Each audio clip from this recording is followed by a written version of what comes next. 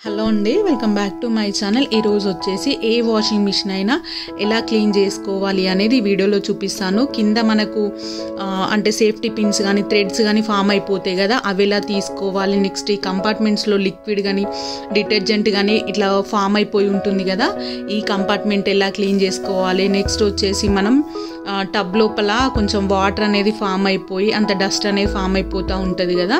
So అది అక్కడ ఎలా క్లీన్ చేసేసుకోవాలి కంప్లీట్ వాషింగ్ మిషన్ ఎలా క్లీన్ చేసుకోవాలనేది ప్రతి ఒక్కటి డీటెయిల్గా ఎక్స్ప్లెయిన్ చేస్తా. వీడియో అయితే స్కిప్ చేయకుండా ఎండింగ్ వరకు చూడండి.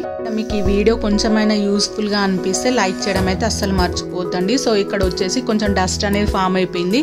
దీన్ని ఎలా క్లీన్ చేసేసుకోవాలి నెక్స్ట్ ఇక్కడ కింద వాటర్ అనేది ఉంటాయండి. వాటర్ తీసేసిన తర్వాత నెక్స్ట్ ఇందులో థ్రెడ్స్ కానీ లేదంటే సేఫ్టీ పిన్స్ కానీ బటన్స్ కానీ హుక్స్ కానీ ఏమైనా మనం డ్రెస్సెస్ వాష్ చేసినప్పుడు పోయి ఈ కిందికి అనేది వస్తాయి. సో ఎప్పుడైనా మంత్లీ వన్స్ అన్నా లేదంటే టూ త్రీ టైమ్స్ అన్నా మనం ఈ కింద ఈ వాటర్ పైప్ అనేది క్లీన్ చేసుకుంటే చాలా అంటే వాషింగ్ మిషన్ లైఫ్ వస్తుంది.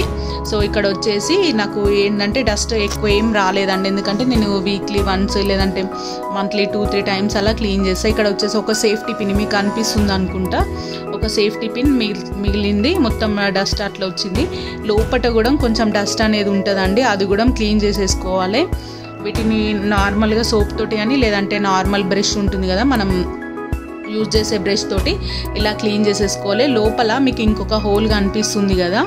సో చూడండి లోపల ఇంకొక హోల్ కనిపిస్తుంది కదా. అందులో కూడా డస్ట్ ఉంటుంది. సో ఇట్లాంటి బ్రష్ తీసుకొని నీట్గా క్లీన్ చేసేసుకోవాలండి. క్లీన్ చేసేసుకున్న తర్వాత నార్మల్ కాటన్ క్లాత్ అలా ఉంటుంది కదా. ఆ కాటన్ క్లీన్ చేసుకున్న తర్వాత నార్మల్ కాటన్ క్లాత్ తోటి మొత్తం ఇదంతా తూడ్చుకోవాలండి. డైరెక్ట్ క్లీన్ చేసేసిన తర్వాతనే మనం ఈ అనేది ఫిట్ చేస్తే కొంచెం స్మెల్ అలా వస్తుంది. ఏంటంటే మనం ఒక కాటన్ క్లాత్ తోటి క్లీన్గా తూడ్చుకున్న తర్వాత ఒక హాఫ్ అన్ అవర్ లేదంటే వన్ అవర్ మనం ఇలా కొంచెం డ్రై కానివ్వాలి. ఎందుకంటే ఇది ఎక్కువ కొంచెం స్మెల్ వచ్చే ప్లేస్ కాబట్టి డ్రై కానివ్వాలి.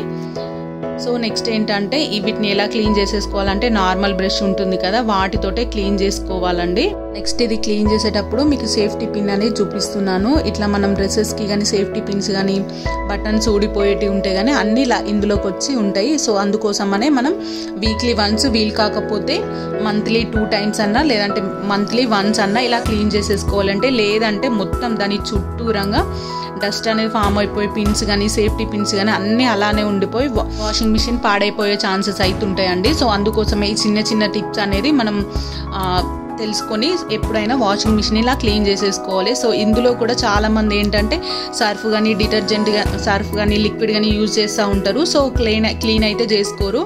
సో సర్ఫ్ యూజ్ చేసే వాళ్ళు ఏంటంటే అందులో ఉండలుగా ఫామ్ అయిపోయి మొత్తం ఫంగస్ అనేది ఫామ్ అవుతుంది. సో అందుకోసమనే మంత్లీ వన్స్ అలా క్లీన్ చేసేసుకోవాలి.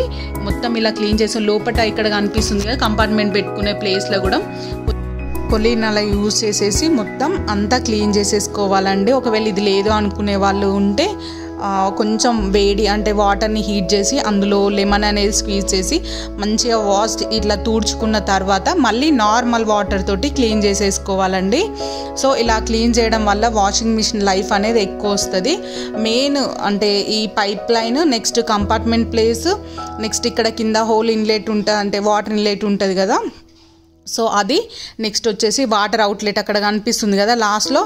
సో అవన్నీ అలా క్లీన్ చేసుకోవడం వల్ల వాషింగ్ మిషన్ అనేది ఎక్కువ ఇయర్స్ వస్తుందండి. చా అంటే చాలా అంటే చాలా ఇయర్స్ వచ్చే ఛాన్సెస్ అవుతున్నాయి మళ్ళీ నెక్స్ట్ ఏంటంటే ఇక్కడ మనం పైన ఇది డిస్ప్లే ఉంది కదా మనం అంటే హీట్ వా అంటే కొంచెం వేడి వాటర్ తోటి కానీ కొలిన్ తోటి కానీ వా తూడ్చేటప్పుడు కొంచెం మెల్లిగా అనేది తూడవాలండి. అంటే కాటన్ క్లాత్ తోటి. ఎందుకంటే ఇది డిజిటల్ డిస్ప్లే కాబట్టి కో- సో రుద్ది అట్లా తుడవద్దు. సో మీద మీద కొంచెం నీట్గా అలా తూడ్ చేసుకోవాలి సో నెక్స్ట్ ఏంటంటే మొత్తం ఇక్కడ లోపట మనం డ్రమ్ ఉంటుంది కదా దానికి నెక్స్ట్ కంపార్ట్మెంట్ ప్లేస్ కానీ పైన గ్లాస్ కానీ ఇక్కడ ముందు డోర్ ఓపెన్ చేసే ప్లేస్లో కానీ సైడ్స్లో కానీ మనకి ఈ బెల్ట్ బెల్ట్ దగ్గర కానీ మొత్తం అంతా క్లీన్గా ఇట్లాంటి కాటన్ క్లాత్ తోటి మంచిగా నీట్గా తూడ్చేసుకోవాలండి. తూడ్చుకున్న తర్వాత మినిమం ఒక half an hour one hour అలా మనం ఎయిర్కి అనేది వదిలేయాలి. అంటే ఫ్యాన్ వేసి ఒక half an hour one hour అలా ఉంచేసుకోవడం వల్ల వాషింగ్ మిషన్ అనేది ఎలాంటి స్మెల్ రాకుండా నీట్గా చాలా ఎక్కువ ఇయర్స్ వచ్చే ఛాన్సెస్ అయితే చాలా చాలా ఉన్నాయండి.